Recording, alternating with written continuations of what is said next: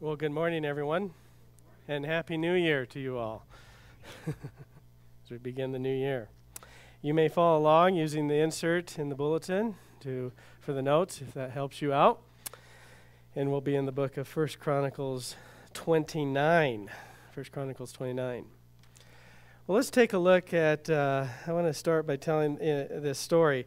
In a church, the preacher was moving toward the end of his sermon, and with growing crescendo, he said, The church, like the crippled man, has got to get up and walk. And the congregation responded, That's right, Reverend, let it walk. And he added, This church, like Elijah on Mount Carmel, has got to run. Run, let it run, preacher, let it run. The church, this church has got to mount up on wings like eagles and fly. Let it fly, preacher, let it fly. Then he added, Now, if this church is going to fly, it's going to take money.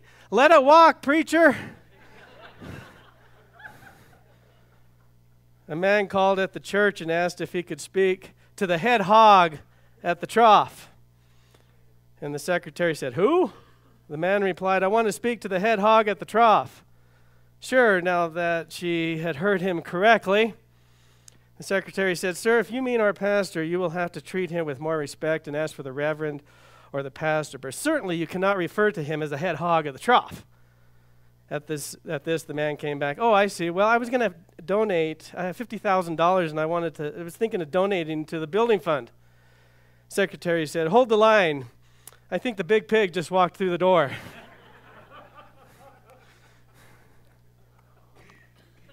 Let's pray, Father.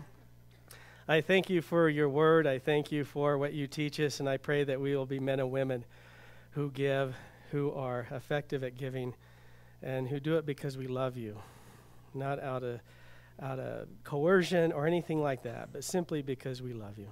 So, Lord, guide us in your word today. In Jesus' name, amen. One of the tendencies that money can do for people or to people is that it can make them attractive. It is very easy to buy services, but you can't buy love. You can have people wait on you hand and foot, but when it comes to love, that is something no one can buy. It has to be given, not taken.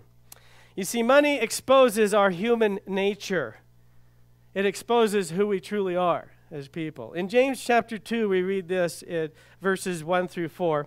We read this warning My brothers, as believers in our glorious Lord Jesus Christ, don't show favoritism. Suppose a man comes into your meeting wearing a gold ring and fine clothes, and a poor man in shabby clothes also comes in. If you show special attention to the man wearing fine clothes and say, Here's a good seat for you, but say to the poor man, You stand here, or sit on the floor by my feet, have you not discriminated among yourselves and become judges with evil thoughts? You see, the attitudes we have can be swayed by how we discriminate against people in terms of their financial status. We tend to look at what people can offer us rather than how we can serve through Christ. When Christ walked this earth, he consistently made himself available to the people who were marginalized, who were forgotten, or simply cast aside because they were poor, they were filthy, they were hungry, they were hurting. Christ said, When I was hungry, you fed me. When I was thirsty, you gave me something to drink. When I was in prison, you visited me. And when I was naked, you clothed me. And, on those, and those on the right, the sheep said, When did we see you naked, in prison, hungry, or thirsty? Then Jesus said in Matthew 25, Whatever you did for one of the least of these brothers of mine, you did for me. He used the word the least. The least means those who in society are not important, forgotten, marginalized. It's easy to forget them, to not care, because it takes much to care. It takes much energy to involve people who are the least, if you will, in your lives. Then you realize we are the least when it comes to holiness, righteousness, love, servanthood, etc. God took great effort to save us, to heal us, and to love us. He sent His Son, the Lord Jesus, to set us free, to send the Holy Spirit to fill us so we can live the empowered lives. And He created the church so we could have community, to, uh, so that we could serve each other and we could challenge the evil of this evil age. We are to be a contrast society, a tra- contrast community that acts in a manner that challenges the status quo, the, immor- immorality of this evil age and offer to the least of this world a place of community, family, and salvation in the Lord Jesus Christ. A contrast society means we're a church that thinks differently. We do not see the world as the world sees. We do not act in a manner that the world acts. We live the transformed, spirit filled lives. We are a new creation in Christ. We now see the world as God sees it. We mourn and pound the table over what breaks God's heart.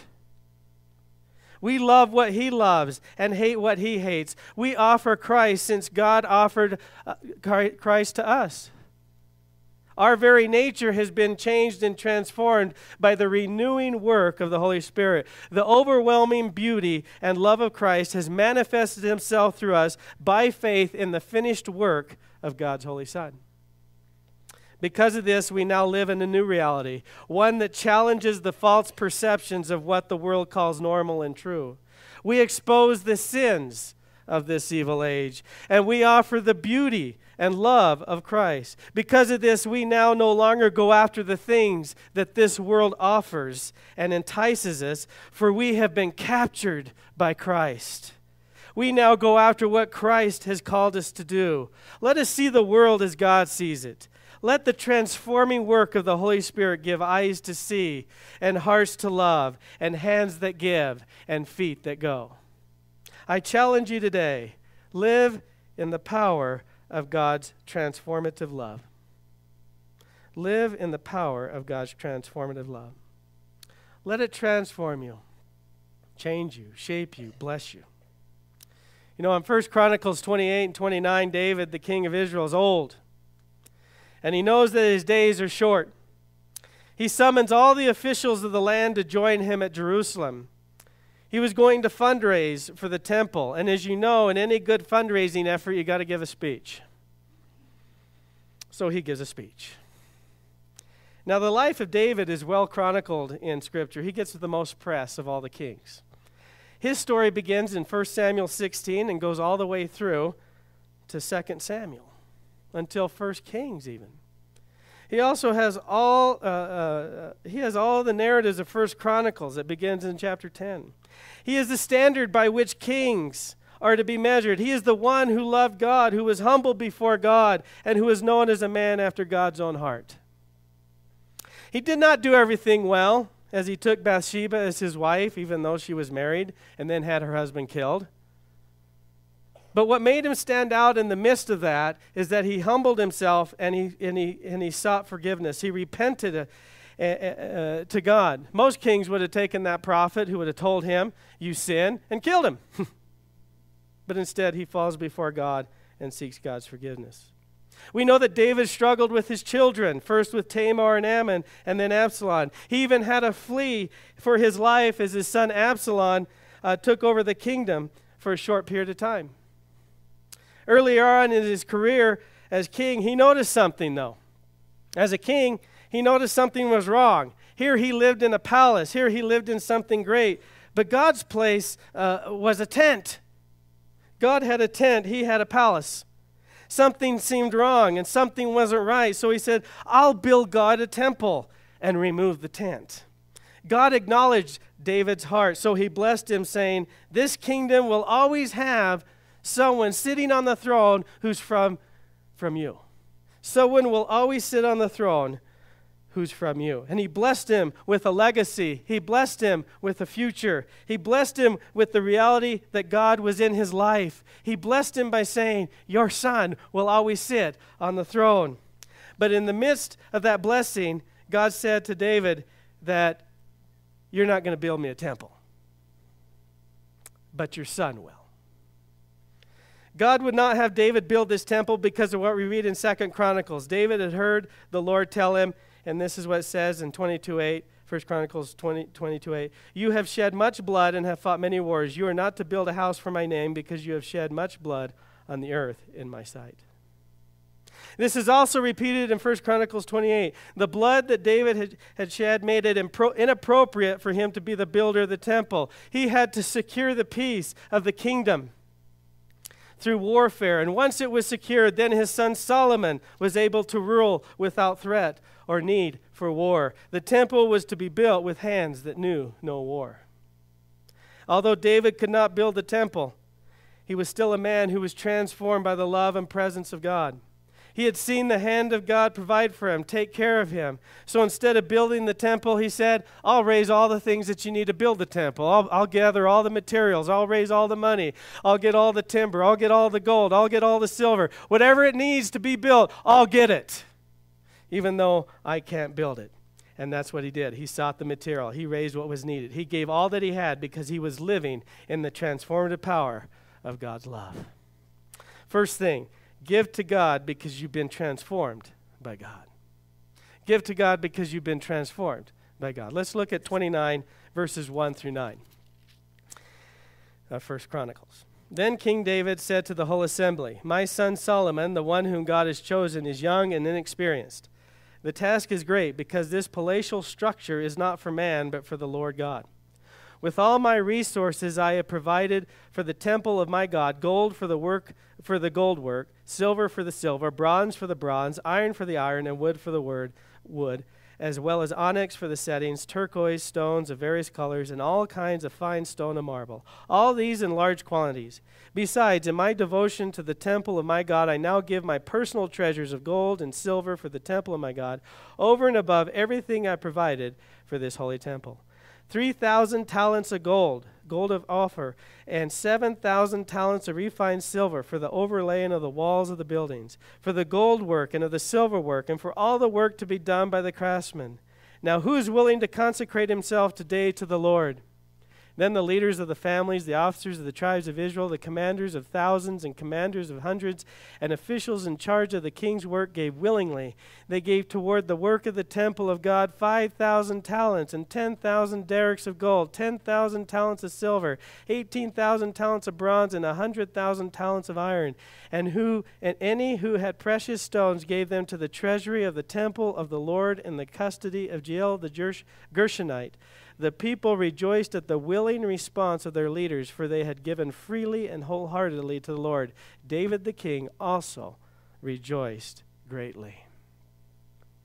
You know, John Raskus went to church and heard the pastor preach from Matthew 6. It, and in Matthew 6 is about the treasures in heaven. And as the offering plate was passed, John put in $300 and he softly said, I'll see you in heaven. And those around him said, Old John is getting senile. He says he's going to see that $300 in heaven. He may meet his maker over there, but he certainly won't meet his money. Well, now the treasurer used some of that $300 to pay the electric bill. He gave some to the preacher to buy gasoline. Some went to the ministerial students, and some to the mission field. Early one morning, John Raskus died in his sleep. And on the first day in, in, in glory, he walked down those streets of gold and a young fellow came up and said, Thank you, Brother John. I was cold and lonely, and it was dark night. I saw the lights of the church just to get out of the dark. I went in. While there, the darkness left my soul, and I found Jesus. Another came to him and said, The preacher came to the filling station. As I filled his tank, he told me about Jesus, and I gave my heart to the Lord. Next, John went through a throng of people who said, I want to thank you for those ministerial students you helped. They preached the gospel to my family, and they found the Lord. He next met those of strange tongues who said, Thank you, brother, for sending us the gospel across the seas. John certainly did see his money in heaven. I tell you, live in the power of God's transformative love. You know, as I look at this passage in 1 Chronicles 29, I see David standing before all of his officials, leaders, and advisors. He knows that his son will soon be king and the construction of the temple will soon begin. But let me ask you if you're going to build the house of God, if you're going to build a temple for God, how would you build it? What materials would you use? How expensive would you go? In the end, it would still be a building, wouldn't it? Even Solomon, after the temple was built and he consecrated the building, he said this in, in 1 Kings but will God really dwell on earth? The heavens, even the highest heavens, cannot contain you. How much this, this how much less this temple I have built? This was a nice building, a great structure that gave a glimpse of God's greatness, but it was still a building. The real demonstration is not how beautiful the building was, but the relationship and the obedience of the people to God. That was the true structure. They were the true demonstration of God's love and transformative power. Our giving to God may, be may at times be a reflection of God's greatness, possibly in the size of the gift. But in reality, the greatest demonstration of God's power is our relationship with Him and our obedience to Him. So let's make some observations. Number one, David gave God his best. He gave him his best. You know, as we read this, his gift is a reflection of the gr- gratefulness and gratitude that he has toward God. He gave everything he had in this gift because he was committed to the ongoing vision of God's work and the transformative power both in his life and the lives of his sons that would come after him and his future grandsons, the future kings that would come from him. He wanted them to look at this place and remember the devotion and to live in the duty to, uh, to live and the duty to obey. David wanted the, the, his best in this project. He said, My son is young and inexperienced. And he was. He was a young man, not ready, probably not well known, and not really able to uh, be king. And he said, My son is young and experienced. This task is great because this palatial structure is not for man, but for the Lord God. And it's going to take everybody, not just Solomon. It's going to take everybody, not just one man. It's for God, not man. is to show off God. You must show off God in your lives. You and I together are that palatial structure, the image of God, the manifestation of His presence on this earth. So let God shine through us. Second observation David expected others to give their best. He says, I'm giving my best, I expect you to give your best. You know, when David stood before his officials and he showed them what he gave, he said, Look at what I'm giving all this gold, all this silver, all this bronze, even my own personal stuff. I'm giving it all. I mean, it's a big show. Could you imagine if we had an offering and said, Okay, let's everyone show what you give? but that's what David was doing. He said, I'm giving it all, I'm putting it all in. And it was for the purpose of inspiring. He, so, he stood before his officials and he showed them what he gave. He said he gave with all of his resources. Then he listed what he gave gold, uh, bronze, silver, uh, iron, and wood, as well as other met- metals and materials. On top of that, he gave out of his own personal resources that he had, above and beyond what he gave prior, so the temple could be built. He was not saying what he was giving so that he could be ostentatious and proud, but rather to inspire, so others would give. He then said, Now, who's willing to consecrate himself to the Lord today? In his expectation of giving, it was rooted in devotion and holiness unto God. What David understood was that this endeavor could not happen and would not happen if he was the only one who gave. This had to be a community effort. Everyone was to be part of this endeavor. Everyone was to take part in giving to the cause. When the whole community works together, people are blessed and giving is accomplished. In 29 6, it says, Then the leaders of the families, the officers of the tribes of Israel, the commanders of thousands and commanders of hundreds, and the officials in charge of king's work gave willingly they gave willingly. The people saw the generosity of the king and it became attractive. We can be inspired by the giving of others. Look at 29 9. The people rejoiced at the willing response of their leaders. The people rejoice because their leaders gave freely and wholeheartedly. When giving becomes part of our DNA of, uh, of the leadership, it becomes attractive and infectious. Our giving is rooted in how we view the greatness and majesty of our God. As our God generously has given to us, we become men and women who generously give to others. The transformative lifestyle when lived out in the community, is demonstrated in the de- generosity and the giving of the people we see. We want to be known as a church that is generous, a community that is generous. Let us be a generous people, inspiring others to give. I challenge you, live in the transformative power of God's love. Secondly, give to God because He's sovereign in 1 Chronicles 10 through 13. This is David's prayer.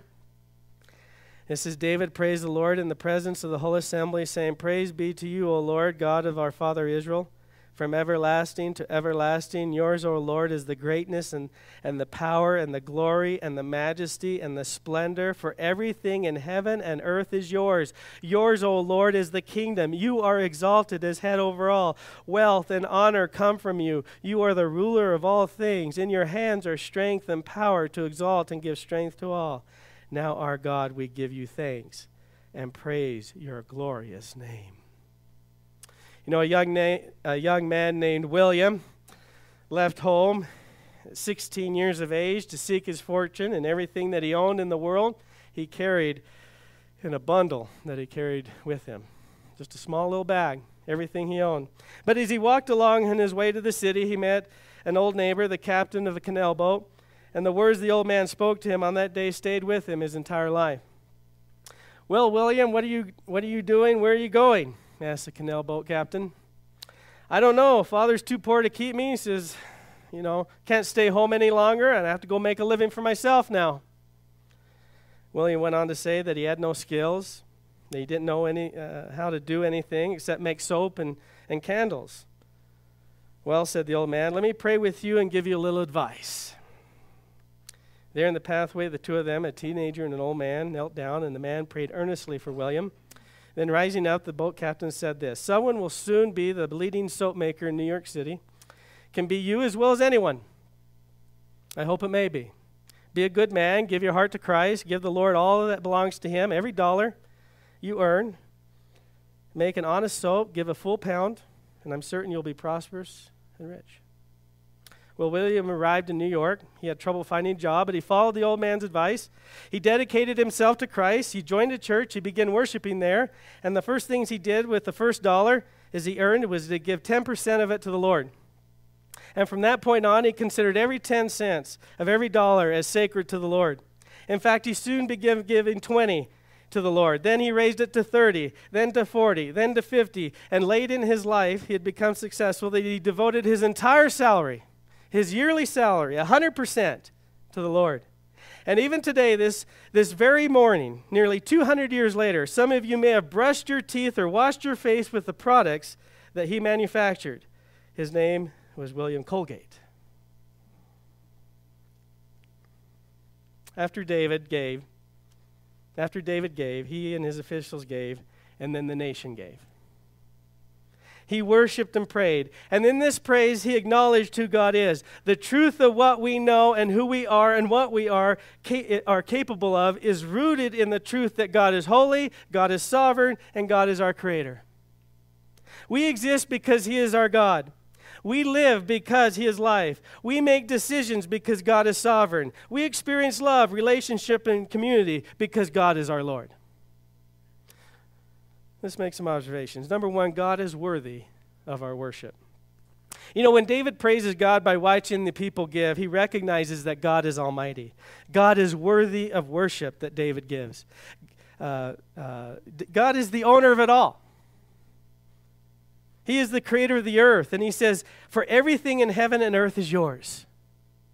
Then he says, Wealth and honor come from you. You are the ruler of all things. God is worthy of worship because it is by him that the nation of Israel even exists.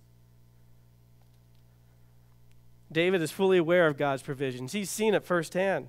God's, he's seen God's sovereignty. He's seen God reign in his life. He has seen God come through. He has experienced God's provisions. He has experienced God overcoming. He has experienced God guarding, guiding, and saving. He saw God move in his life as he stood before the giant and see him being killed by that one rock with the slingshot, you know? He saw the victory of God.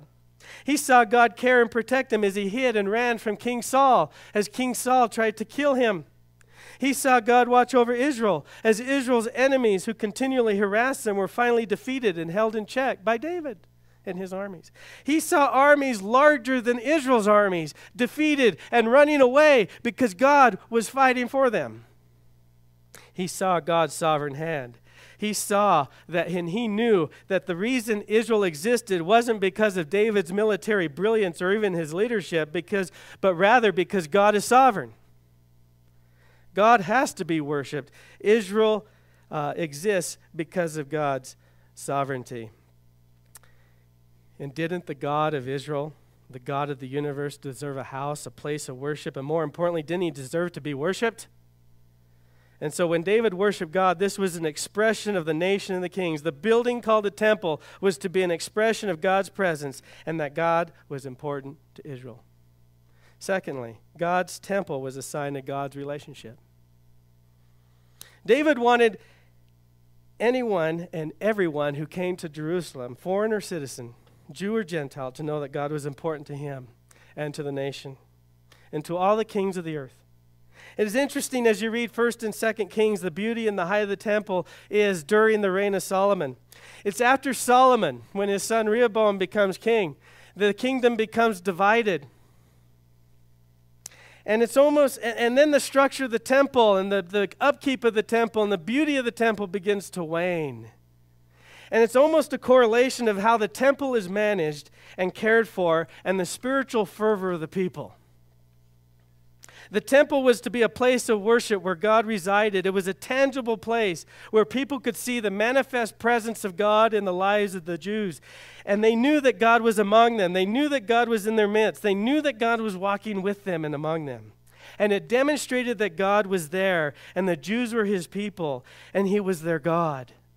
It's, and it was a picture and a prophetic statement of what we will see in the future in Revelation 21 when we will worship God and see Him as He is. He will be our God and we will be His people. As the temple declined, and as it became less and less favored, so did the people's faith. And as the people's faith declined, so did the temple. It's an interesting correlation as you read First and Second Kings. The fact that David was building a temple showed that God was there, that he was there permanently. He wasn't moving around in a tent. He was there, and people could go and worship. It was a solid structure. It was no longer transient in tent, but home where God lived among his people. This temple was to be a statement of how great their God was and is. That is why giving to it was so important and was so public. It was not to be given to privately because the relationship with God was not a private thing but a public statement. Their whole existence of their nation was to be one of worship and a lifestyle of giving. The temple structure was a statement that although there was an earthly king, there was also the true and holy king God Himself. God oversaw Israel, not the king. The king was simply the steward, the servant. God was the Lord. That is why He's to be worshiped and exalted. That, the truth is, is that God's presence was the transformative life. So I tell you, live in that transformative life. Number three, give to God because He's provider. Let's look at verses 14 through 19. But who am I and who are my people? That we should be able to give as generously as this. Everything comes from you, and we have given you only what comes from your hand. We are aliens and strangers in your sight as we as were all our forefathers. Our days on earth are like a shadow without hope. O Lord our God, as, as for all this abundance that we have provided for building you a temple, for your holy name. It comes from your hand, and all of it belongs to you. I know, my God, that you test the heart and pleased with integrity. All these things have I given willingly and with honest intent. And now I have seen with joy how willingly your people who are here have given to you.